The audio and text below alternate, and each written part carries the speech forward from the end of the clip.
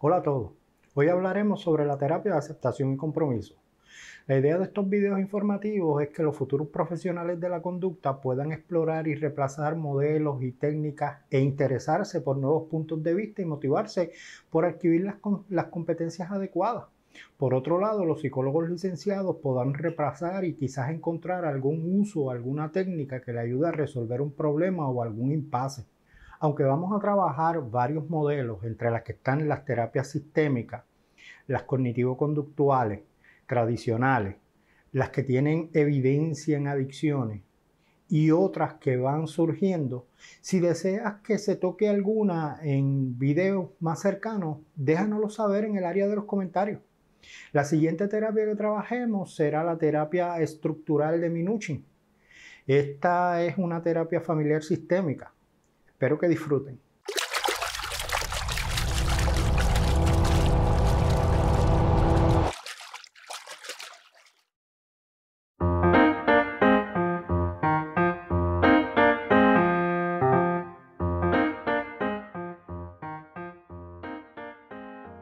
Hablemos de los orígenes de la terapia.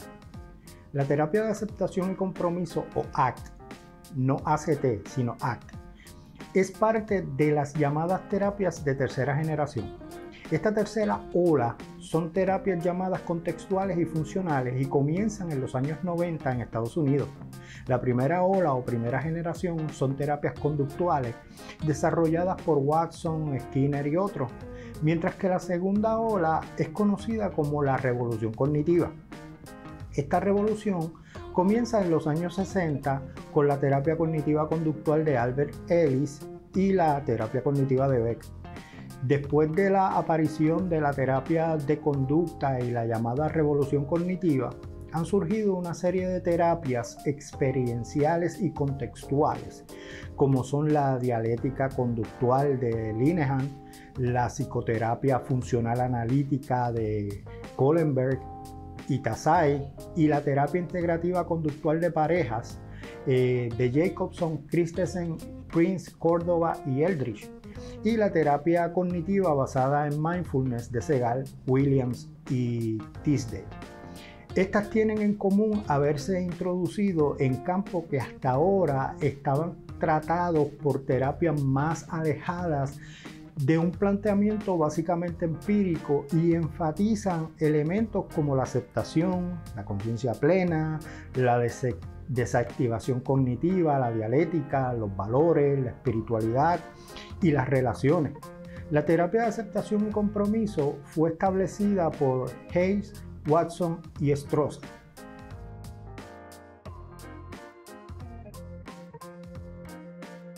Según Stephen Hayes, una de las mentes detrás de este modelo, ACT, es una forma de psicoterapia experiencial, conductual y cognitiva basada en la teoría del marco relacional del lenguaje y la cognición humana y representa una perspectiva sobre la psicoterapia que enfatiza el papel de la evitación experiencial, la fusión cognitiva, la ausencia o debilitamiento de los valores y la rigidez e ineficiencia conductual resultante Veamos esto en detalle. La teoría del marco relacional, la cual es la base del modelo del cual a su vez se basa en el conductismo radical de Skinner, tiene tres componentes básicos que son el lenguaje, el contextualismo funcional y la cognición. Esta teoría explica que el ser humano aprende el lenguaje debido a sus interacciones con el ambiente y el lenguaje, según la idea que pretende establecer el autor, no se refiere tan solo a vocalizaciones, es la actividad simbólica, ya sea en forma de arte, dibujo, vocalizaciones como tal, y a un pensamiento. Para decirlo de una manera simple, la teoría del marco relacional dice que por medio de la interacción con otros, el lenguaje y la cognición, el ser humano aprende si quiere experimentar a veces un evento. Por ejemplo, aprendemos que si pasamos una luz roja, nos van a dar una multa por pasar la luz. Lo sabemos porque este aprendizaje se ha transmitido a nosotros por el lenguaje que se da al interactuar con otros en el proceso cognitivo del ser humano. Este es el primer aprendizaje contextual y se le conoce como nominal. Si rebasamos la luz y la policía nos multa, se establece una relación bidireccional de eventos y ya envuelve emociones, pensamientos, ideas y hasta información sensorial de estar disponible. Si el evento fue traumático, cada vez que la persona ve un semáforo, su lenguaje interno se activa, reviviendo emociones, pensamientos y vivencias del trauma, ya que está fusionado cognitivamente con este evento y tratará a toda costa de evitar el contacto con otro semáforo, lo cual en el modelo se le llama evitación experiencial o vivencial. Para los que conocen bien el modelo, lo sé, es un ejemplo muy burdo y se necesita refinarse, pero tiene la idea central. Y por cuestiones de tiempo no podemos ponernos muy técnicos. Ahora, ¿cómo funciona la fusión cognitiva y la evitación experiencial? Estos términos son muy importantes en el modelo. Bien, volvamos a la teoría del marco relacional. Hemos aprendido por medio del lenguaje qué es para cada uno de nosotros la felicidad. Si meditamos un momento un poquito en el concepto, mucha gente diría, daría definiciones semejantes al término, pero en cada una de estas definiciones habría un elemento en común, la ausencia de sufrimiento. Para mucha gente ser feliz implica ausencia de sufrimiento. Vamos, ¿cómo podemos ser feliz y sufrir al mismo tiempo? Pues esto es aprendizaje relacional contextual por medio del lenguaje. Son como dos términos opuestos porque hay una fusión cognitiva en la mente que dice que no puede ser feliz si está sufriendo. Y según Hayes, Strossal y Wilson, eh, el sufrimiento viene cuando la gente cree firmemente el contenido de su mente y se, se fusiona con sus cogniciones. En una ocasión oí a la doctora Jessica Talavera dar un ejemplo sobre lo que es fusión cognitiva. ella dijo, y cito, la fusión cognitiva es como un adolescente que se mira en un espejo y dice estoy gorda y no puede dejar de pensar en eso. Cierro cita. Y claro, porque abraza el pensamiento, lo nutre, se dice a sí mismo y se repite estoy gorda, estoy gorda, estoy gorda. Para evitar estar gorda comienza a comportarse de manera maladaptativa, dejando de comer o provocándose el vómito, lo cual es evitación experiencial.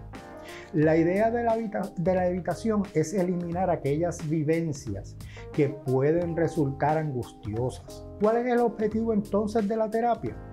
A diferencia de las terapias de segunda generación, no es cambiar el pensamiento, ya que según el modelo esto sería una solución no permanente, la idea es la aceptación de esas situaciones que nos causan estrés emocional, no evitarlas, romper con la fusión cognitiva y comprometerse a seguir los valores importantes y significativos para la persona. ¿Cómo se logra? Cambiando el lenguaje y alterando el contexto donde estas fusiones se presentan.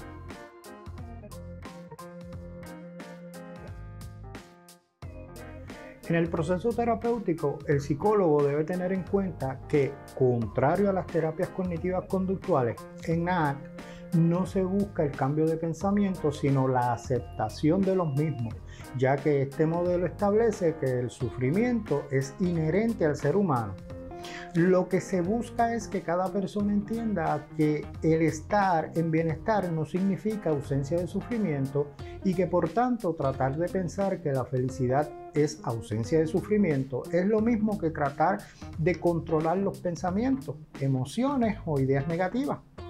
Y aún lo que lo provoque.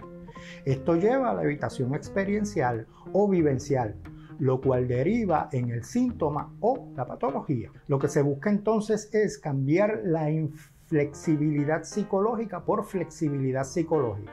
¿Qué es inflexibilidad psicológica? ACT define operacionalmente inflexibilidad psicológica como seis procesos interconectados que producen sufrimiento en el ser humano y promueven la evitación experiencial.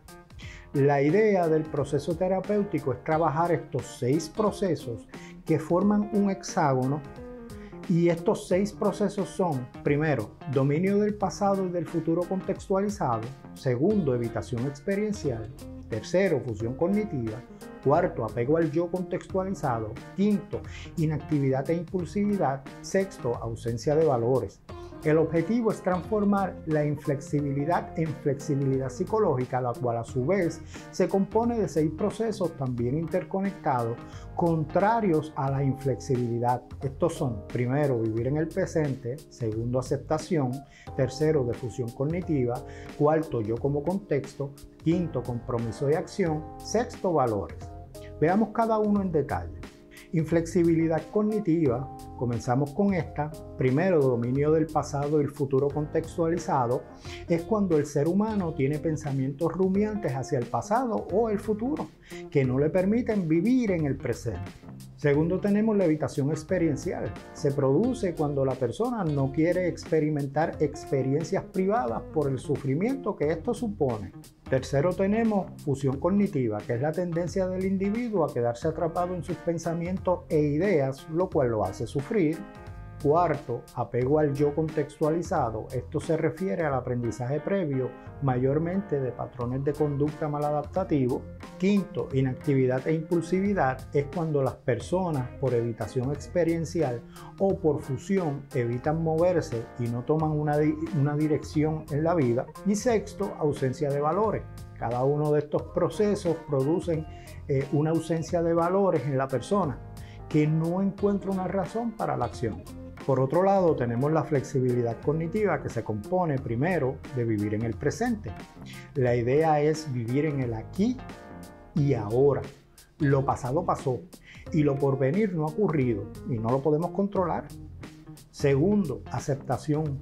Ocurre cuando se aceptan los eventos que producen sufrimiento sin ningún tipo de juicio. Tercero, difusión cognitiva. Se distancia a la persona de los pensamientos que nutre, fomenta y abraza. Cuarto, yo como contexto. Se trata de que la persona observe sus eventos traumáticos desde un punto de vista externo. Se le llama yo observador.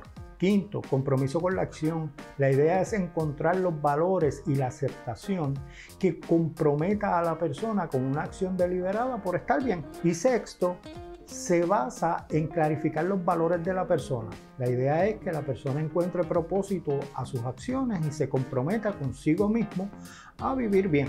La terapia debe estar enfocada en ayudar a la persona a retener y moverse. No podemos evitar el sufrimiento. Así que se acepta y se establecen valores que comprometan a esa persona a salir adelante.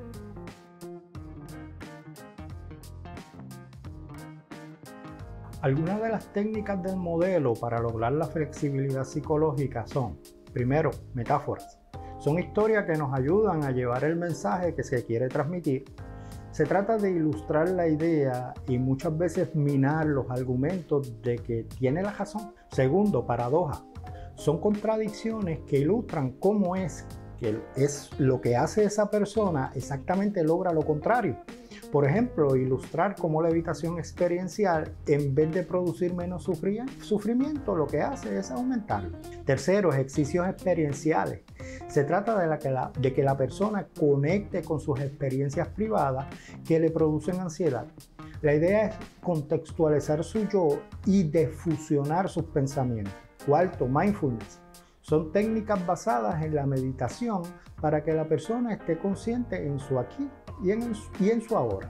Ahora veamos una dramatización. Recordemos que estas son simples ya que solo son para clarificar conceptos, no son elaboradas, van directo al grano. No quiere decir que sean una manera de dar terapia, sino simplemente clarificar unos conceptos.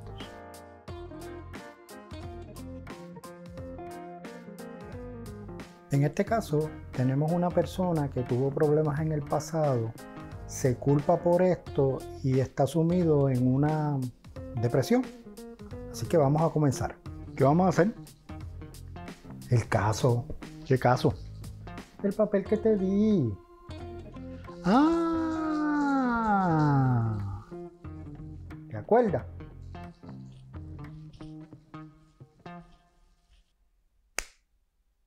Si me acuerdo, en broma.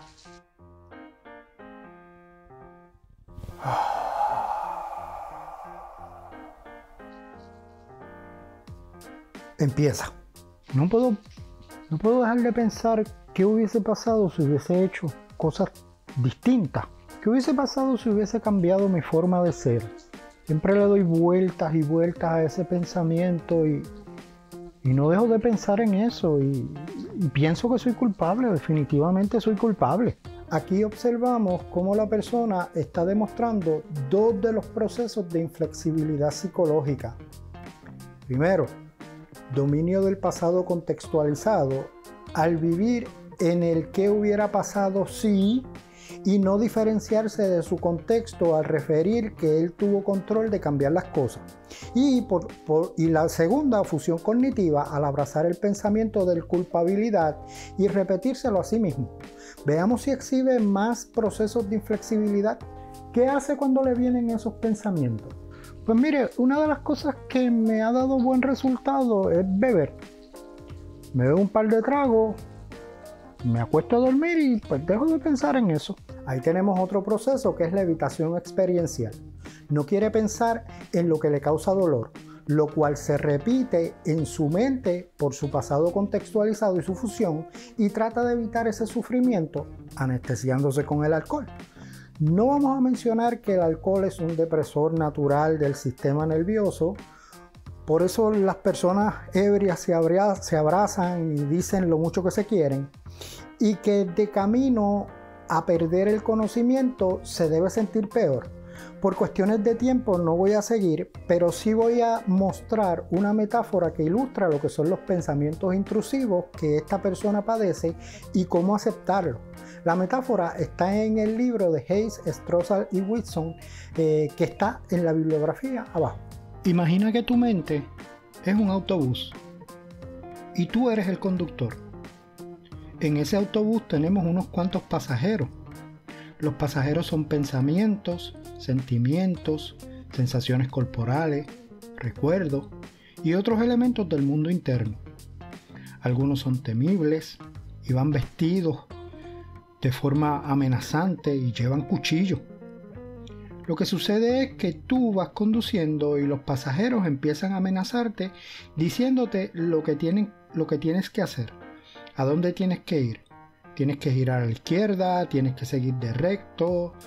Eh, la amenaza que te hacen es que si tú no lo haces, ellos dicen que van a venir desde el fondo del autobús para situarse a tu lado. Es como si hubieras hecho un trato con esos pasajeros y el trato consiste en lo siguiente.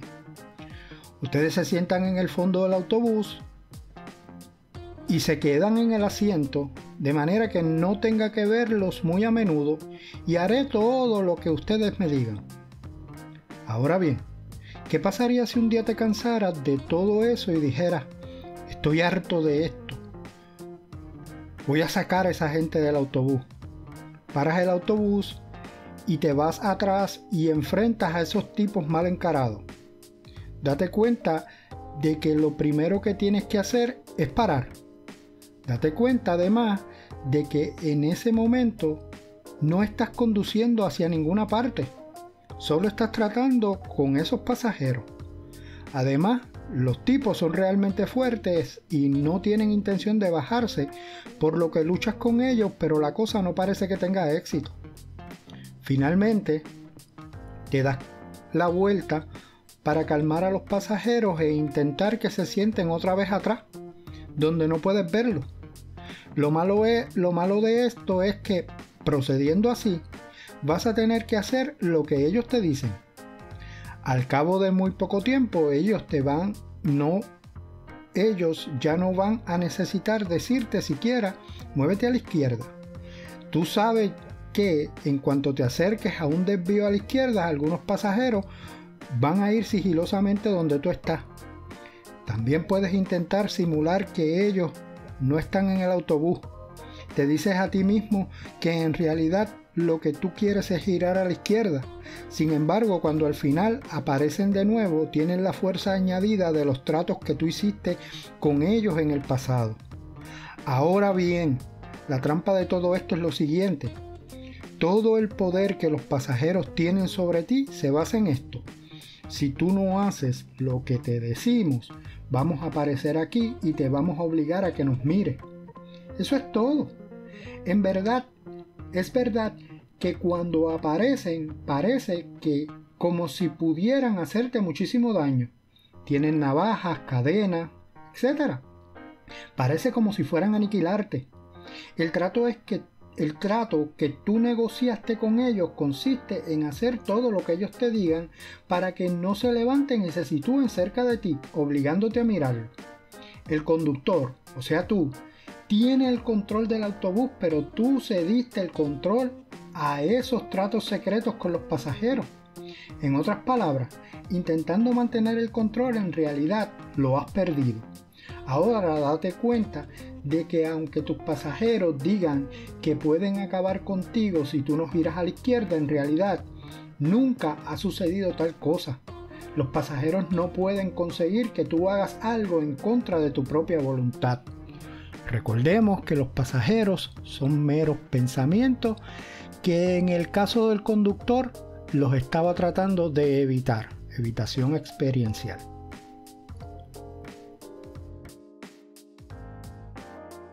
Kevin Egusquiza Vázquez utilizó la terapia de aceptación y compromiso en un caso de conducta inapetente en Perú durante el 2015 y publicó su estudio de caso en la revista Interacciones, referencia en el área de la bibliografía. Y este concluyó y cito, la aplicación de la terapia de aceptación y compromiso, ACT, se constituye como una novedosa y prometedora intervención para los problemas de conducta alimentaria y como una interesante ventana a seguir explorando en el abordaje de diferentes problemáticas en la población infantil. Por otro lado, Carmen Luciano y María Valdivia de la Universidad de Almería escribieron un artículo publicado en la revista Papeles del Psicólogo en el 2006 llamado Terapia de Aceptación y Compromiso, Fundamentos, Características y Evidencia. En su escrito, estas comentan y cito, esta terapia ha sido efectiva en numerosos estudios de casos, en los ensayos clínicos controlados, comparando ACT con tratamientos cognitivos empíricamente validados, condiciones placebo o listas de espera, ACT se ha mostrado mejor específicamente en los casos crónicos o igualmente eficaz al finalizar los tratamientos, pero las diferencias son sustanciales en los periodos de seguimiento, en ensayos controlados en la depresión, manejo de estrés laboral, sintomatología psicótica, patrones obsesivos compulsivos, ansiedad, fobia social, consumo de drogas, tabaco, esclerosis múltiple, psicooncología, tricotilomanía, miedos y preocupaciones, diabetes, episodios epilépticos, dolor crónico, actos autolesivos en intervención con padres de niños con limitaciones, con profesionales, ha resultado eficaz para evitar la cronicidad y alterar de forma notable el curso de secuelas y síntomas variados, habiéndose aplicado en formato breve y amplio, en formato individual y grupal, además de aplicado en diferentes personas y en numerosos países. Cierro cita.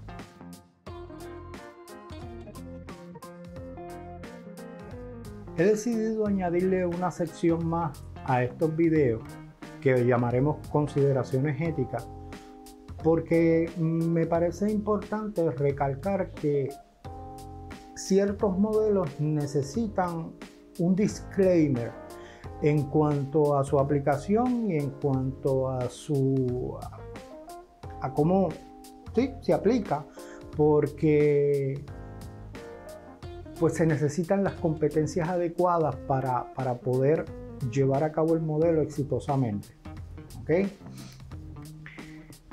Es importante recordar que este modelo terapéutico trabaja con los valores del cliente, paciente, participante.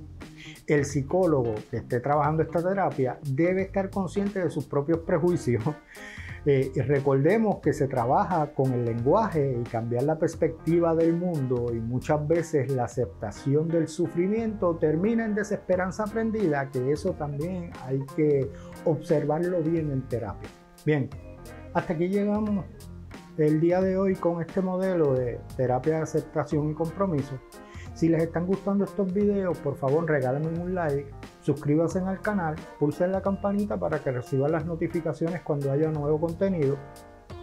saben que estamos llevando dos series distintas. Una es Psicología para sentirse bien, que está dirigida al público común, y Modelos terapéuticos, que está dirigida a estudiantes y a psicólogos. Así que ya sin más, eh, espero verlos en la próxima eh, video donde trabajaremos la terapia estructural de Minucci. Gracias. Bye.